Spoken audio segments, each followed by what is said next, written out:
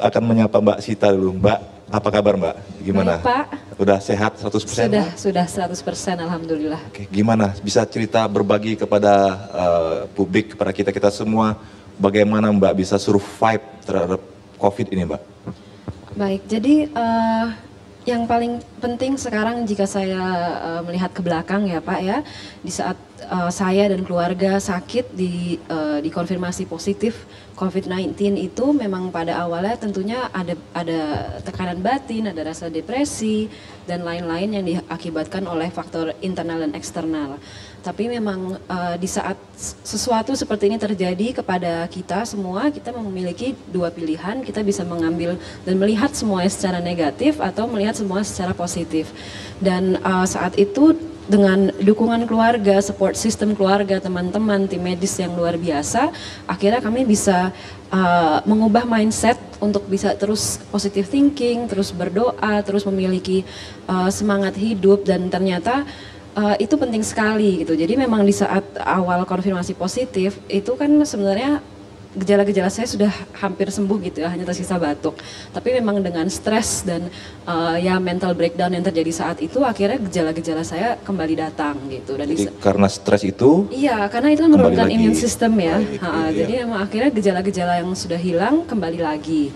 Nah, eh, di saat saya bisa positif dan saya mulai semangat untuk eh, sembuh, saya di dalam isolasi saya melakukan yoga, olahraga, sedikit-sedikit saya menari, saya nyanyi, semua saya lakukan. Bawa happy gitu aktif. ya? Iya, untuk bawa happy. Saya setiap hari berhubungan dengan keluarga saya melalui video call di WhatsApp dan teman-teman itu akhirnya eh, di saat bisa positive thinking gitu dan semangat untuk hidup lama-lama gejala-gejala hilang, imun sistem saya naik, akhirnya saya bisa sembuh. Gitu. jadi teman-teman juga berpengaruh untuk Oh, menaikkan sangat, iya keluarga dan gitu ya. teman-teman dan juga Memberi semangat kita, gitu ya. semuanya Iya, iya iya.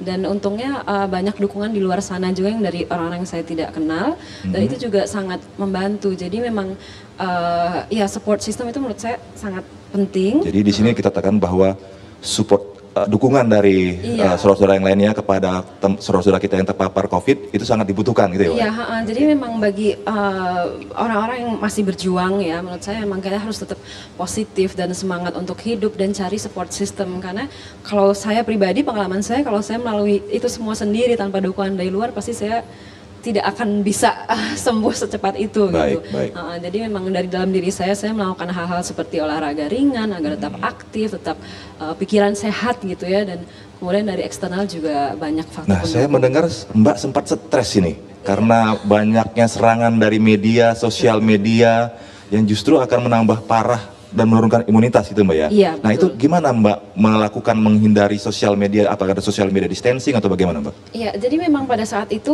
kan semua berita tentang saya ya di mana pun itu ya, mau itu di TV, di online Sampai punya news, nomor di- teleponnya. So, iya, sampai orang-orang yang saya nggak kenal eh, media dan or- ya orang-orang banyak gitu hubung menghubungi saya dan bombarding my Instagram gitu di DM segala macam. Nah, eh, awalnya saya masih tetap kekeh saya bukain semuanya dan saya nyalain TV terus 24 jam di isolasi, tapi lama-lama akhirnya saya ya udah itu TV saya matiin, eh, sosial media saya nggak buka-buka. Waktu itu memang ada sempet kayak 5-6 harian yang saya nggak buka.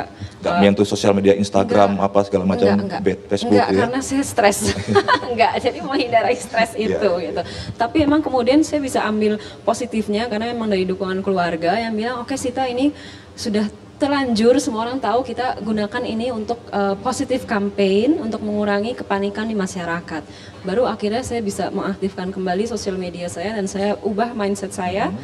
untuk melakukan hal yang positif terus gitu uh, bagi keluarga maupun ya bangsa Indonesia gitu karena saat itu kan panic mongering tuh Iya, iya. banyak sekali gitu ya Dipakai untuk memberikan semangat bagi saudara Iya. kita yang memang sekarang sedang sakit gitu ya. Iya, dan ya untuk mengurangi kepanikan di masyarakat sih sebenarnya gitu. Dan dengan melakukan hal yang positif itu juga membuat saya akhirnya jadi sembuh karena saya juga jadi tenang, saya merasa berguna, ada yang hal positif yang saya lakukan gitu. Ya, justru harusnya kan me- masyarakat berpikir bahwa tidak ada yang pengen sakit gitu ya. Iya, Bahwa iya, dan betul. terpapar oleh eh, COVID-19 ini bukan aib gitu Mbak ya. Iya, dan bukan kita yang memilih ya. Jadi maksudnya itu bukan pilihan, memang siapa pun bisa kena, virusnya tidak memandang bulu. Eh, jadi hal-hal seperti itu juga saya infokan dan maksudnya saat itu kan orang karena lihat banyak berita hoax bahwa orang lagi jalan tiba-tiba jatuh meninggal yang Iya. gitu-gitu. Sedangkan kami merasa di rumah sakit kita baik-baik aja kok gitu sebenarnya. Nggak ada masalah gitu ya.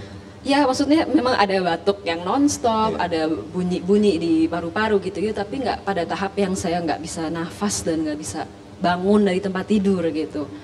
Nah, setelah dinyatakan sembuh dan Mbak merasa sehat sekarang, apa langkah ke depan yang Mbak inginkan atau akan lakukan dalam rangka mendukung perang melawan COVID ini, Mbak? Oke, jadi eh, dari mulai keluar dari rumah sakit, memang kan kita isolasi di rumah dulu dua minggu ya, nggak keluar sama sekali gitu.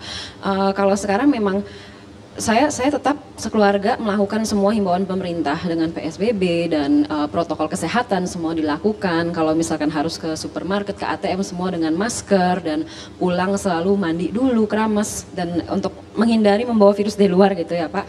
Dan selain itu juga kami sebisa mungkin melakukan hal-hal positif yang bisa uh, membantu masyarakat secara secara umum gitu. Entah dengan pemerintah maupun dari sekitar rumah entah dari tim medis. Jadi uh, sehari-hari kita masih tetap melakukan positif campaign dan uh, sharing experience. Dan juga kami uh, bertiga juga melakukan uh, apa uh, fundraising untuk bisa membantu uh, tim medis maupun orang-orang sekitar yang terdampak secara ekonomi gitu jadi hal itu tuh buat kami itu sangat apa ya menyenangkan dan juga jadi uh, salah satu ya hal yang sangat kita senang lakukan gitu untuk membantu semua orang sebanyak mungkin. Baik.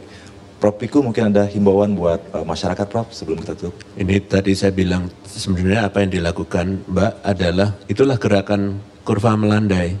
Baik. Semua melakukan mendorong untuk semua berubah lebih happy dan seterusnya. Tadi saya pikir Mbak tadi waktu matiin TV, matiin sosmed pasti nari sama nyanyi gitu kan? Iya. Nah, makanya itu sebenarnya adalah masyarakat harusnya bersama-sama meningkatkan imunitas dengan melakukan seperti itu dan campaign kepada yang lain. Mari kita pakai masker, cuci tangan, jaga jarak, imunitasnya ditingkatkan. Itu insya Allah bisa eh, memenangkan perlawanan dan membuat kurvanya melandai karena kita Intinya menentukan. jangan stres, tetap happy. Jangan stres. Biasa aja melawan virus ini caranya cuma begitu. Nanti Baik. virusnya bingung sendiri. Baik, Prof.